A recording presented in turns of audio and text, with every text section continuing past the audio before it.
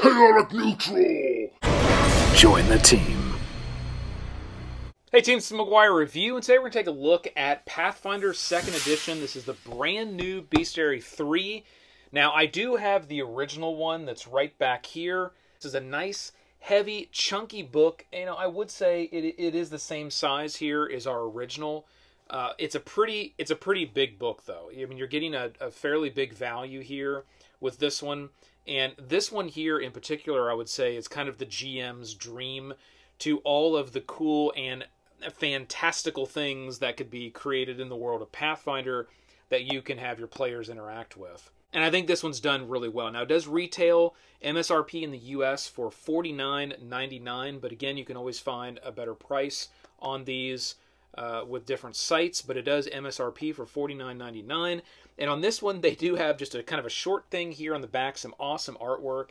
It says the triple threat. There's over 300 captivating creatures and fantastic foes packed to the pages of this. So there is a number of different things you're going to find here. So what we'll do in this video, if you are unfamiliar with this particular book, this is generally a book for a GM to be able to um, know about all the different creatures that are possible to have your players interact with. And the structure here is going to be very similar, if not identical, to the volumes that have been released already to date. You're going to have an alphabetical listing of all of your monsters here on the front.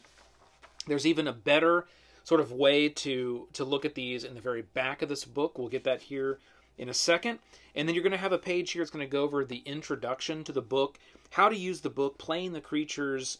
There is a creature stat block explanation here that very quickly and cleanly lists how to go through those creatures, what the different statistics mean. And then here you're going to get some uh, some other information on combat power, elite adjustments. So you may want to adjust the level of your creature based on where your characters are. There's some elite adjustments as, as well as weak adjustments, which is a nice section there.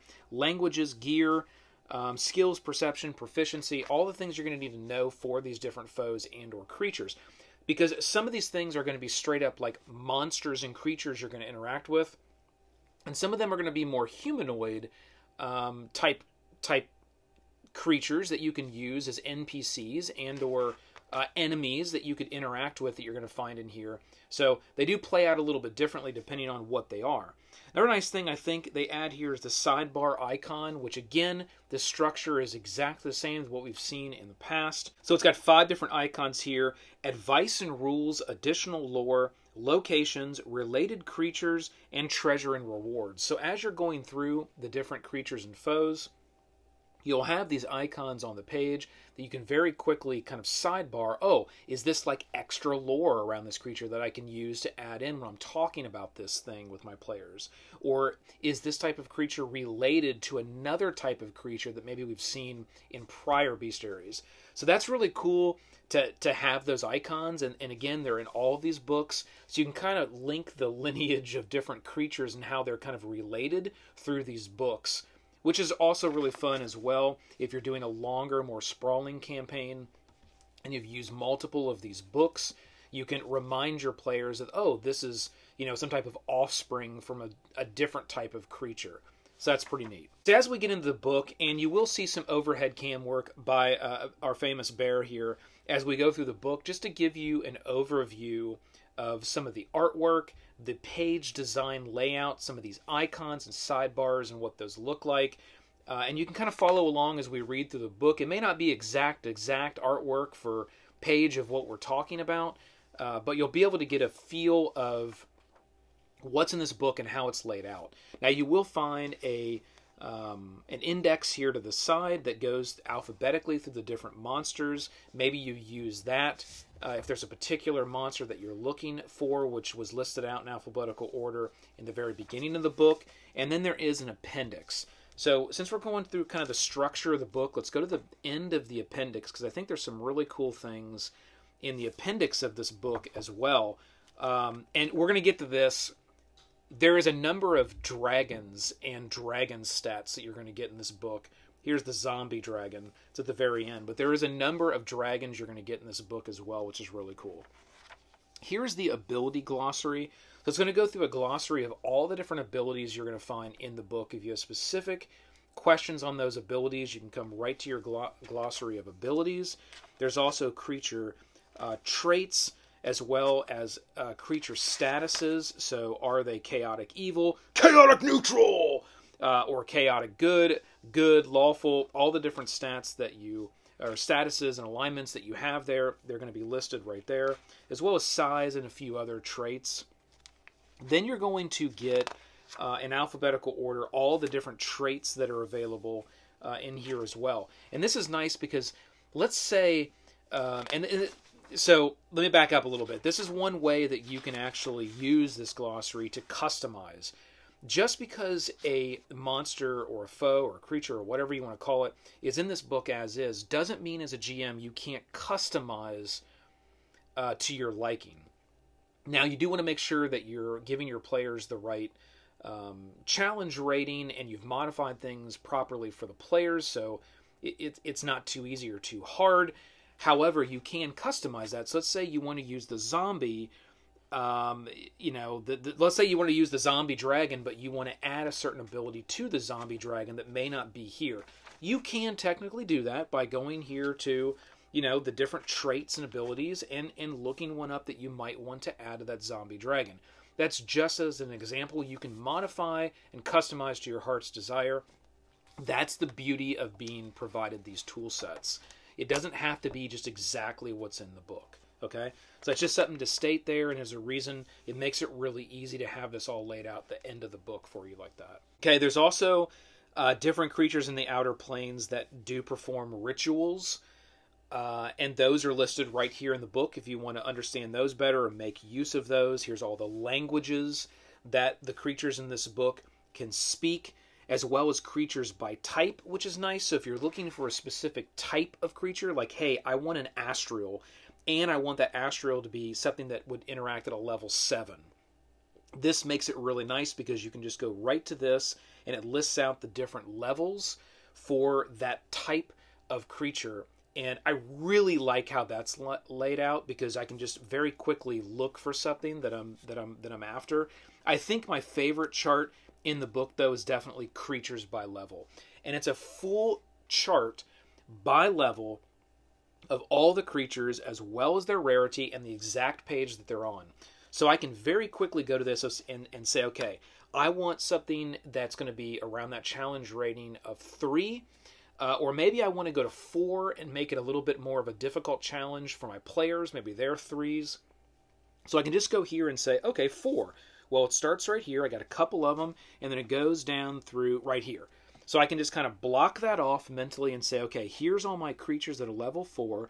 Well, what type of creature do I want?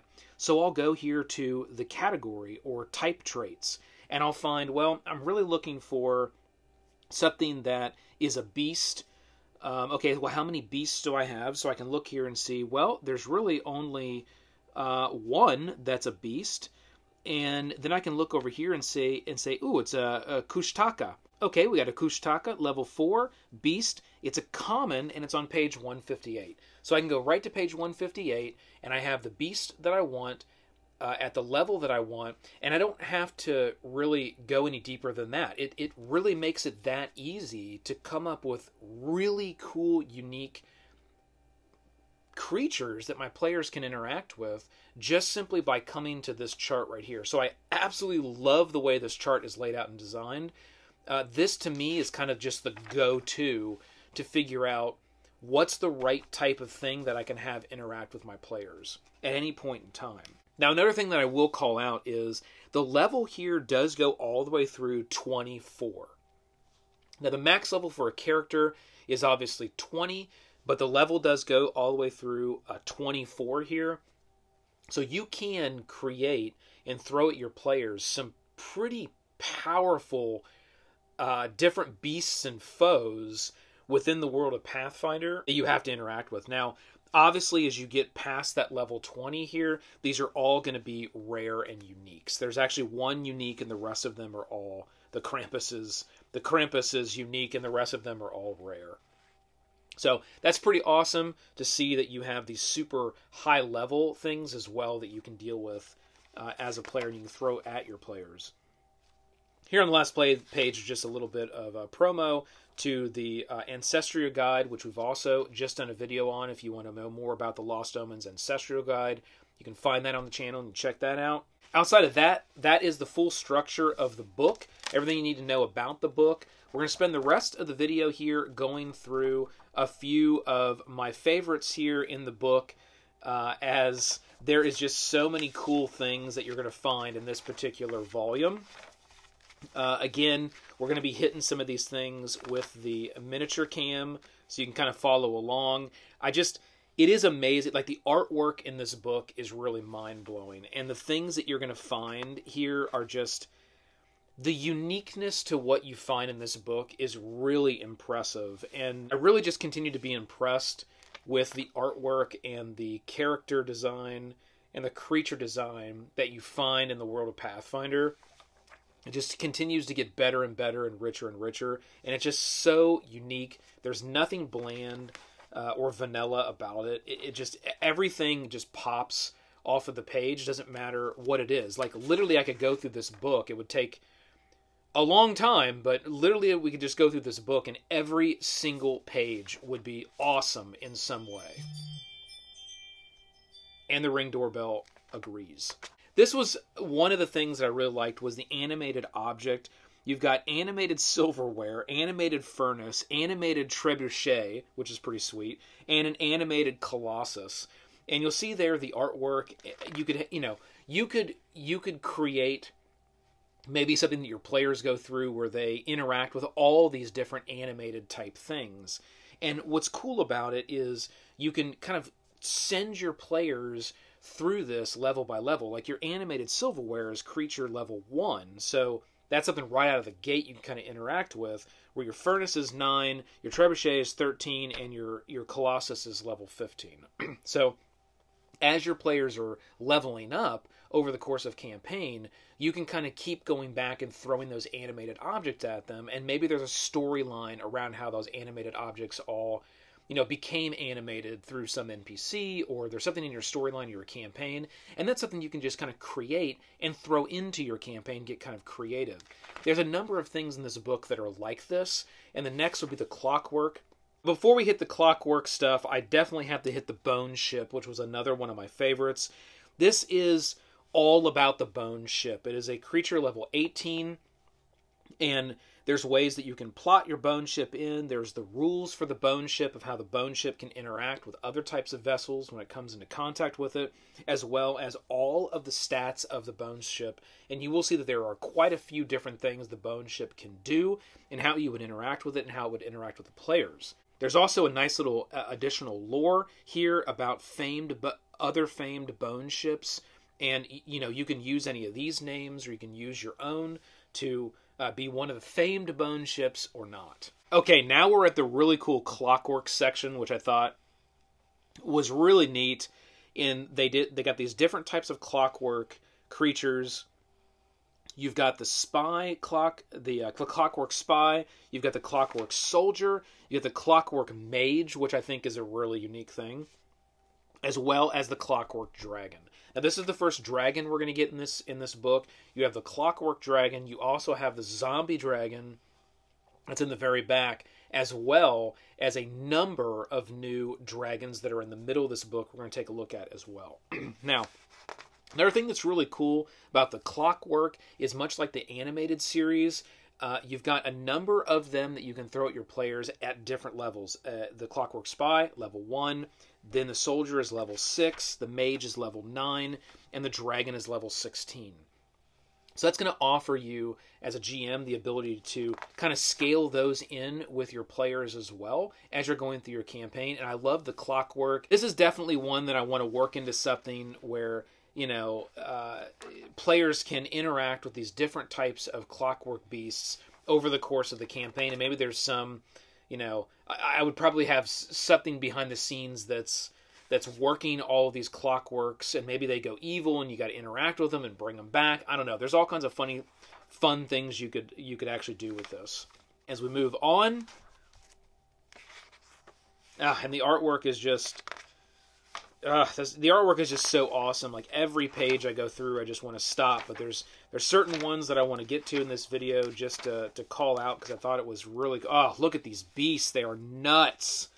Okay, the div. Oh, these are so so cool. Actually, let's stop on the div for a second because this was another uh, part that I thought was just amazing. We're gonna hit the dragons here in a minute. Uh, the divs are so so cool. The artwork is just nuts.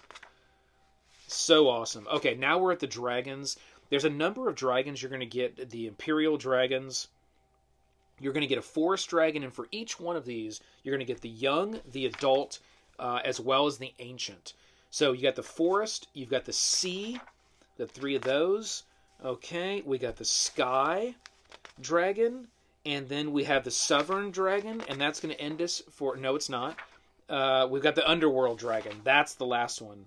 And this Underworld Dragon just looks so deadly. It's a it's a level 16 creature, so it's not like it's out of control. The Sovereign Dragon here is a level 20, so I believe that is our highest out of the dragons. Uh, I do believe that it is the highest. Yes, so that that one is the highest one. But this underworld dragon just looks so wicked, so deadly. And you've got all of your stats that you're going to need, depending on if you're running into a young, an adult, or an ancient, which is nice as well. You can kind of scale those over the course of a campaign. And that's our new section for the dragons. Okay, this is another one I'm going to take a look at really quick. The Gremlin this was one that I thought was was uh, was pretty awesome when I when I saw the saw the creature. Like, oh, sweet, they have gremlins.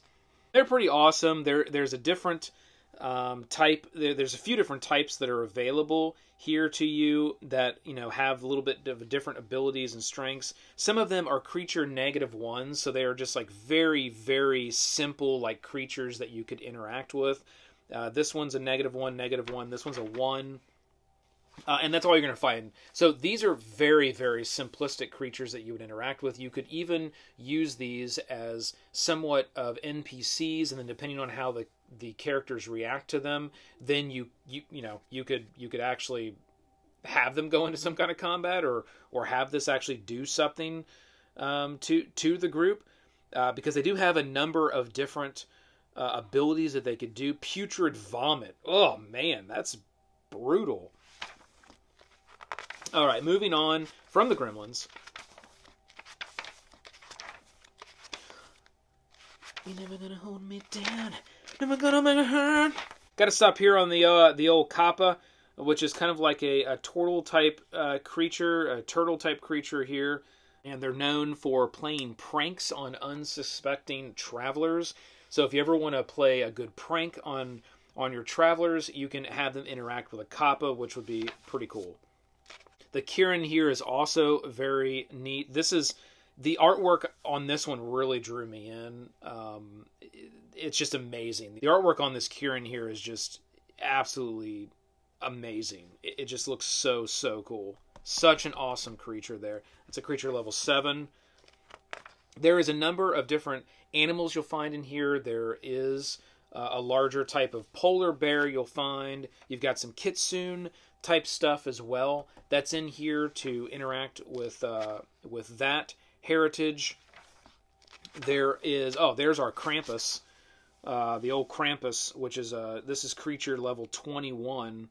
This thing is nuts. You do not want to mess with a Krampus.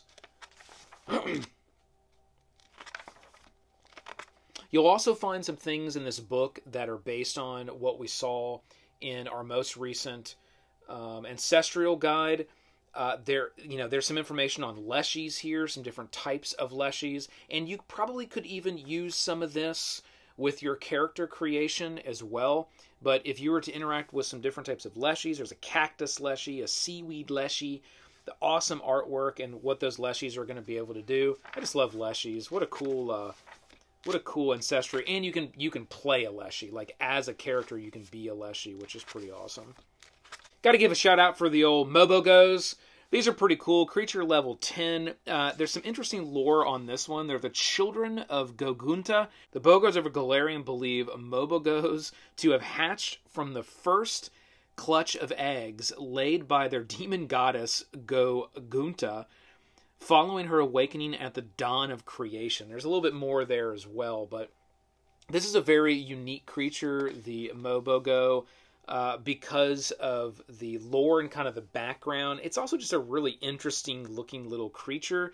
Uh, and they have a number of uh, different things that they can do as well tongue grab, swamp stride, swallow whole, tongue reposition. I mean, it's there's a, it's got a lot of abilities they can do with its tongue. So you kind of have to watch out from a ranged perspective. Uh, you can't get too close uh, or it's going to nail you with that tongue. So you got to be really quick and agile, kind of around the the deadly Amobogo. So I just I thought that was a really unique character and had a really interesting background as well. Love the Myceloid. What's awesome? Ah, such awesome artwork there. Don't want to get hit by that spore domination, or get a case of purple pox. That'll mess you up.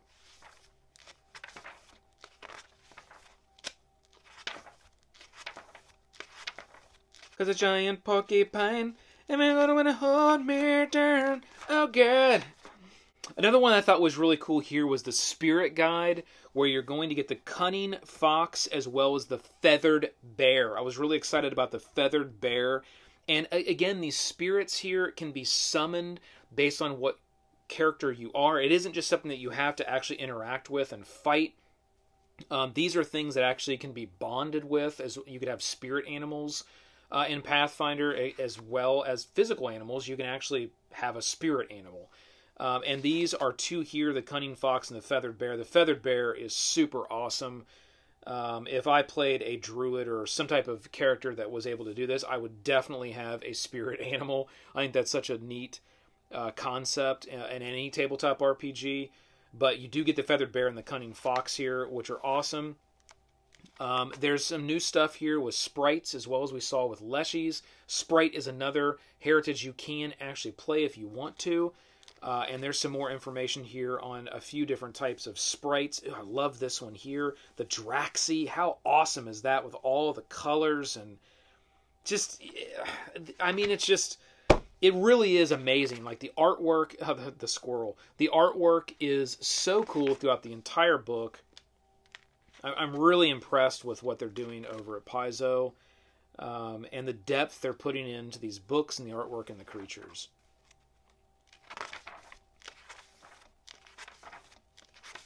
And the last one we're going to hit here, outside of, uh, there is one more dragon that's in the book, and it is the Wyrmwraith which is right here, level 17 creature. It looks pretty deadly as well. I want to say it gives you a feel of kind of one of those zombie type dragons or the underworld type dragon, uh, but but it is different. It has um, a number of things that it does, and it's pretty deadly. It's more necrotic. It's got draining life, uh, draconic frenzy, divine dispelling. So it's it's more necrotic type uh, dragon that you would be fighting.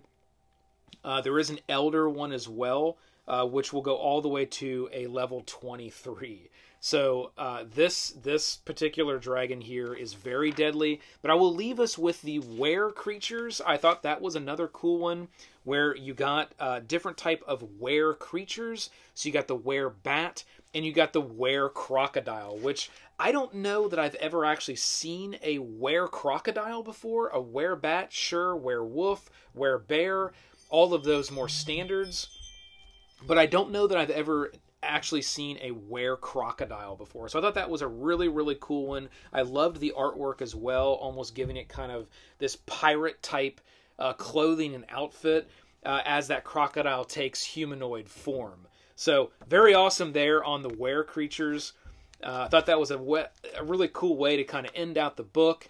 And that team is the brand new Bestiary 3. I know that it's probably been a little bit longer of a video, but I like doing the videos on these books and just letting you know from a GM perspective what you're up for actually getting. And you know, if you're a player and this isn't necessarily something you would buy, uh, sometimes players do buy these to, to read up on the creatures that they might interact with. But I believe these are primarily for the GMs to create those worlds and to create those interactions for their players. So hopefully you've enjoyed this, whether you are a player or a GM. you'll find what you need in the brand new Pathfinder 2nd Edition from Paizo Bestiary 3. Check it out. Hit that like, hit the subscribe below to join the team. Keep rolling them crits. This has been the McGuire Review, and we'll see you next time.